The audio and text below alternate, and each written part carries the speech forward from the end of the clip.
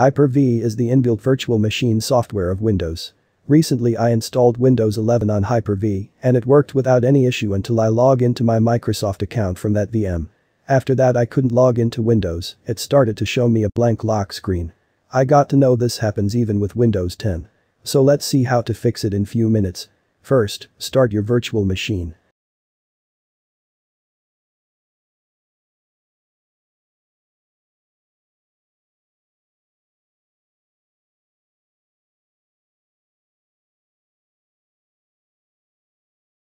Now you can see I can't do anything on this screen other than shutting down the VM. Now go to view menu and untick enhanced session.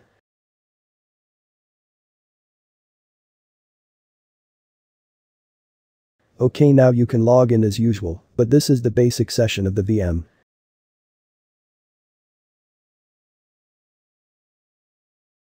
Now go to account settings. These steps are same for Windows 10.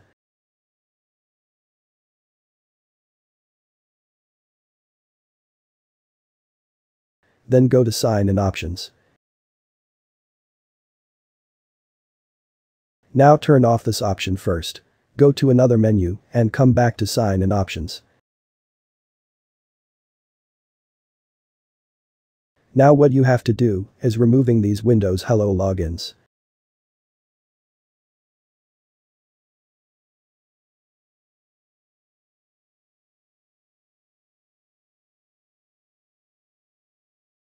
Now shut down and restart your virtual machine.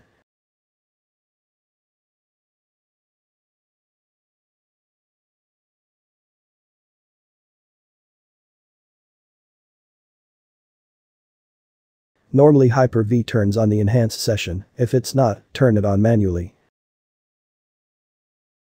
You can see now it works without any problem. Like the video and subscribe my channel. Thank you for watching.